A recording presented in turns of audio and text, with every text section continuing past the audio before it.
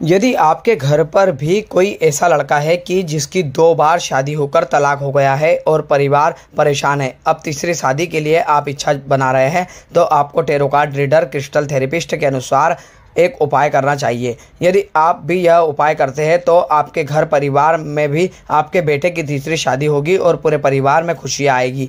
एक घरेलू उपाय है जो आप आसानी से कर सकते हैं। इसके लिए आपको कोई अधिक खर्च नहीं करना है। लोकल एटीन की टीम को tarot card reader, crystal therapist Siddhi Barole ने बताया कि यदि दो बार किसी लड़के की शादी हो गई है और तीसरी बार भी वह शादी करने जा रहा है तो आपको दो उपाय करना है।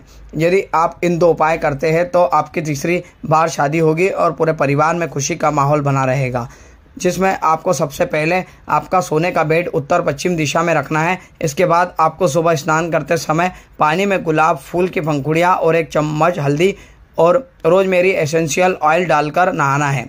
यदि आप इन दो उपायों को करते हैं तो आपके घर पर शादी होगी और आपको किसी प्रकार से परेशानी नहीं आएगी। यदि आप यह उपाय करने जा रहे हैं तो आपको एक बात का विशेष रूप से ध्यान रखना है। आप नहाने वाला उपाय कर रहे हैं तो उससे पहले आपको नहाने के पानी में 10 मिनट पहले आपको सब चीज़ें डालना है और उस इंटेंशन रखकर मिलाना है, मेरी शादी हो रही है और मुझे बहुत खुशियाँ मिलेगी।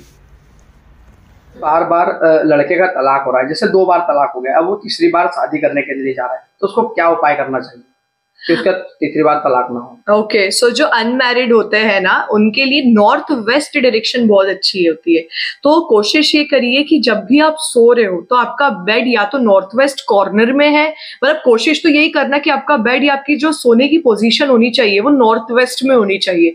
इससे अच्छी लड़की आपकी लाइफ में अट्रैक्ट होगी और जो बार बार पिछले जो तलाक हुए हैं आने वाले टाइम में वो सारी प्रॉब्लम्स भी खत्म हो जाएगी। और दूसरा उपाय जब भी आप नहाने के लिए जा रहे हो ना अपने पानी में रोज पेटल्स गुलाब की पंखुड़िया रोजमेरी एसेंशियल ऑयल की कुछ ड्रॉप्स और एक चुटकी हल्दी मिला के नहाइए ताकि आने वाले टाइम में कभी भी प्रॉब्लम्स आप फेस ना कर पाए। कितने दिन करना है उपाय? ये आप 45 डेज़ तक करें स्टार्टिंग में और 45 डेज़ के बाद आपको रिज़ल्ट मिलेगा ही। मिनिमम 45 डेज़ मैक्सिमम 90 डेज़ भी हो जाता है।